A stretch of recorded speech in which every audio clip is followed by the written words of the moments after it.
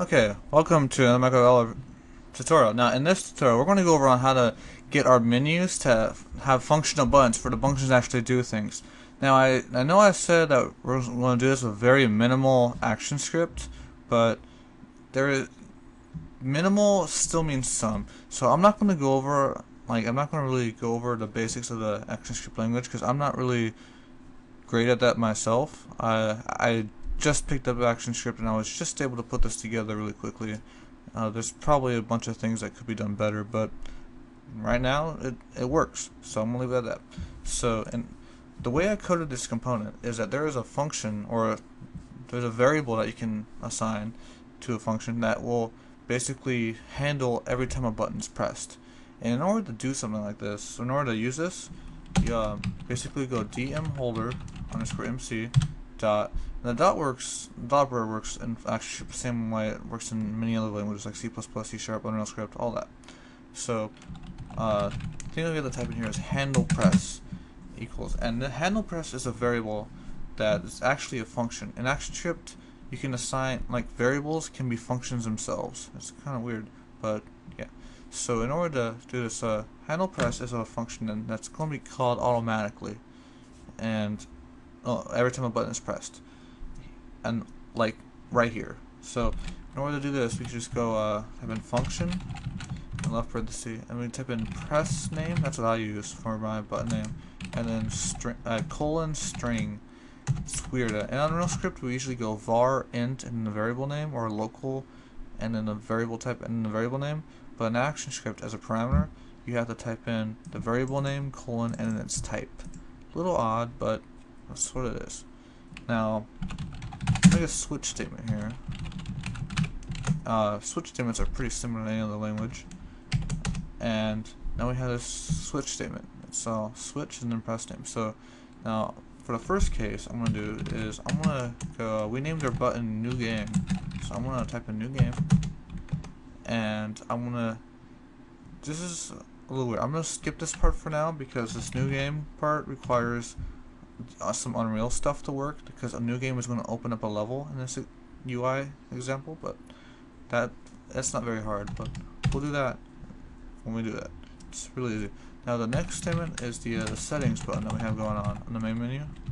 So I'm going to go ahead and type settings and I'm going to type in dm holder underscore mc and I'm going to use that switch menu again that we used before but instead of typing in main menu I'm going to type in settings and then I want to break this case and then that should do it.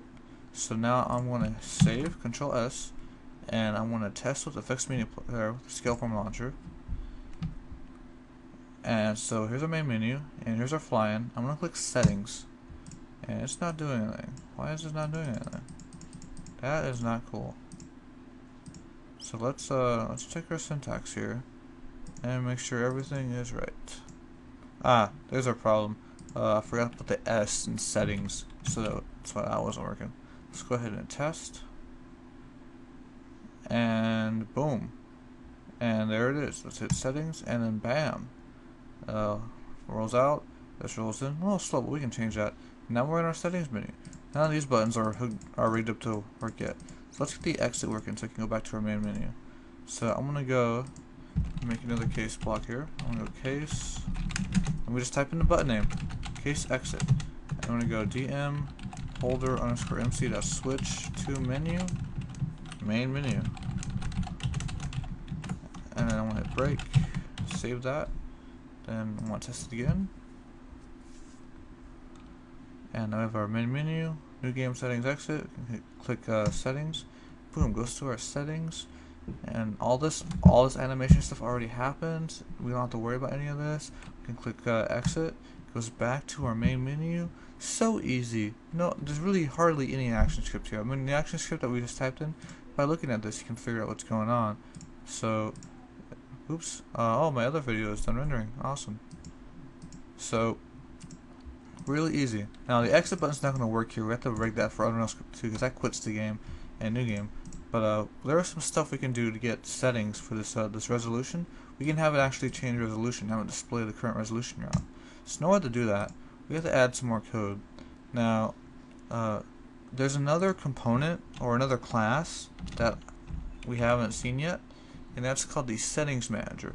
And in order to use that, um, there's there's a lot of tutorials out there about ActionScript and how to import packages and whatnot. But just know that you have to put this line here, import, and then com.forecourse.settingsmanager. Uh, just type this in here, and that's basically like a like an include file in any other language, but in ActionScript it's import. And I'm not going to go over that too much, but just uh, just put that in there, and that gives us access to the Setting Manager class. The Setting Manager class is the class that I wrote that manages all our settings for our game and things like that. So in order to use that, let's go ahead and just create a new variable. You have to start things with var, like Unreal Script actually.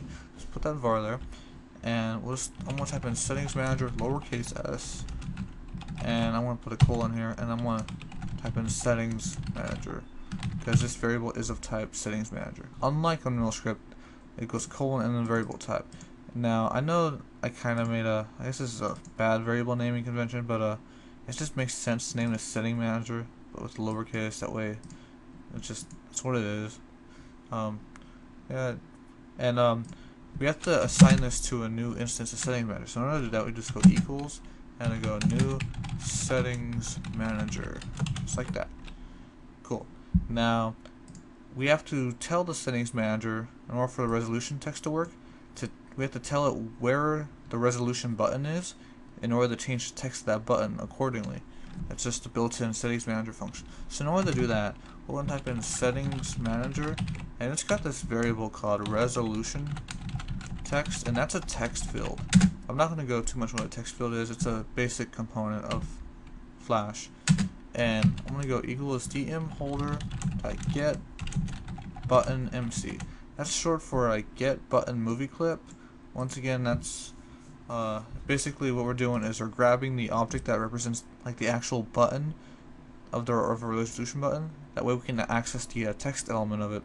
But this isn't about this tutorial isn't about ActionScript too much so just follow along and uh, it'll make sense later. I'll, I'll post videos about ActionScript and how to get this all working and how to build this yourself and the code part but that's not this tutorial.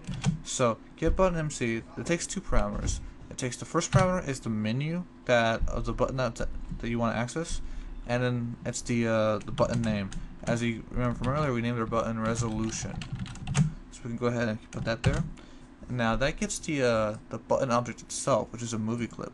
But inside that movie clip, it's got this it's got a text field in it, and that text field is called text field. So we're just going to type in type in dot text field here, and now this basically we're grabbing the text field out of the button movie clip in the uh, which is the resolution button in the menu in the settings thing that's inside the dynamic menu holder and setting that to our settings manager resolution. It's a little complex, but just just bear with me there, and everything will make sense later on. And with that being said, we can now uh, let's we can now update our resolution text, and we have to do that.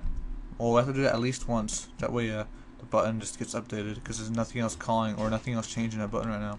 So we could do that by settings manager dot update resolution text, just like that.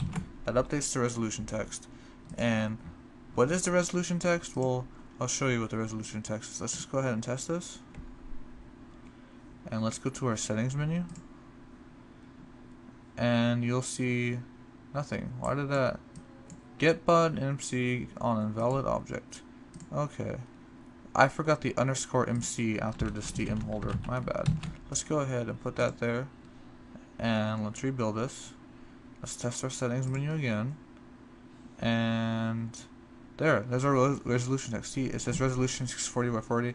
Right now that resolution is wrong, but uh, but it's there, and that's working, so that's cool. That's cool. So, once we got, uh, that's working. Now we got to get the resolution button to actually, you know, do something. So let's go ahead and work on that now.